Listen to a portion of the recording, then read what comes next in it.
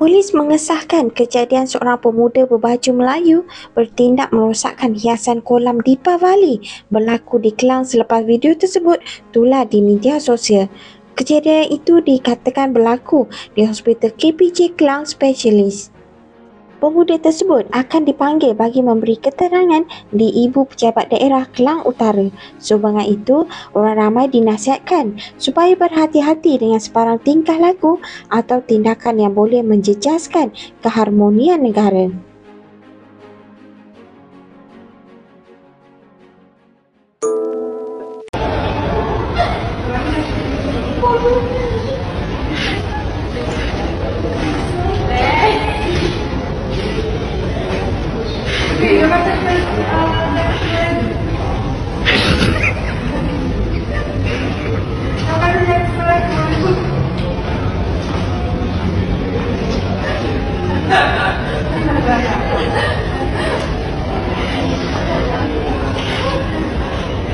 vandalism.